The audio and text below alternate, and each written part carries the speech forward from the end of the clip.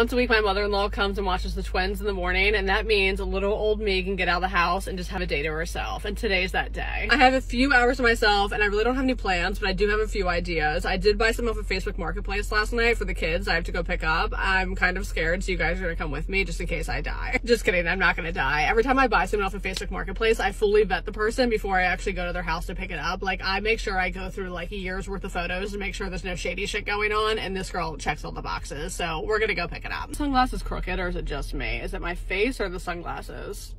I don't freaking know. So we got her. It's one of these little ride-on things. I was looking at these on Amazon last night and they're like 80 bucks. I found this on Facebook Marketplace for 15. She can use a little Lysol wipe and she's good as new. These people have cameras all over their house and they're probably watching me like, what the hell is this bitch doing? Little birdie told me that Bath & Body Works is having their three-wick candle sale. I think it's three wicks for $14.95 and I need some seasonal candles. So let's freaking go, girls.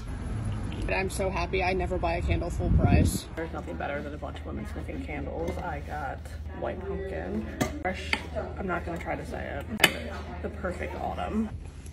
So these sunglasses are crooked, correct? Like this is driving me nuts. Now I need new sunglasses. Anyways, I'm gonna get my eyebrows done. I have 15 more minutes until my appointment. I don't think I've got my eyebrows done in like two months. They look a freaking mess, but I have to edit a brand deal TikTok, so I'm gonna do that before I go in there. So imagine me scrolling on my phone, editing a TikTok. That's what I'll be doing for the next 15 minutes.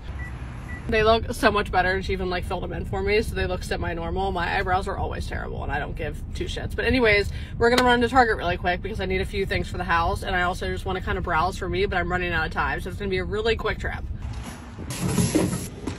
It's Target Circle Week, so I got like a bunch of clothes. I love these little t-shirts. They're so cheap and they last a really long time. I also got some crop shirts, and then I got this sweater.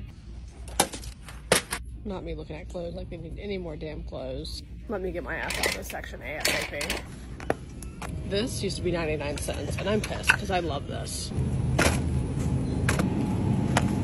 make all the twins food obviously not the puffs or the crackers or the yogurt bites but everything else i make homemade and i'm really trying to go out on a limb here and try to get things that are pre-made and pretty healthy with like minimal ingredients i am like a huge stickler for ingredients like they just stresses me out. And yes, I'm perfectly aware one day they're gonna want McDonald's and processed foods, but for now, I'd like to just stick to minimal ingredients. I'm gonna try these.